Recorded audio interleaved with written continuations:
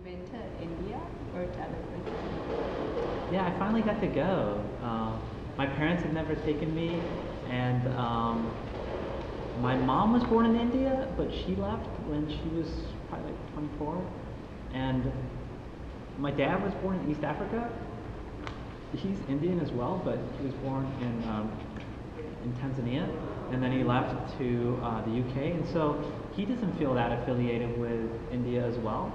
And so then I was born in uh, England and then moved to LA, and so it was always weird. Like I'm brown, my name is Sanjay, and like people are like, "Dude, you're Indian." I'm like, I don't even know what that means, but yet like I was expected to know what it meant, you know.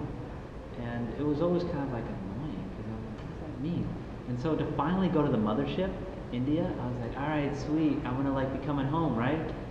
And it was so weird because once I went to India, I went there I think in like 2008, so I was like I know, 32.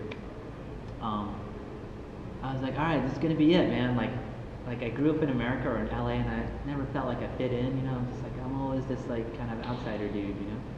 So I go there, and it's like crap. I don't fit in here either. And it felt like actually that it was weird. Like once I was in India, I was like, I feel American. And once I'm in America, I feel like kind of sort of Indian American.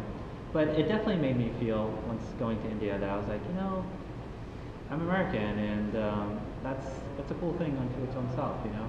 And going to India was a really awesome experience. I really did. It blew me away. It blew me away.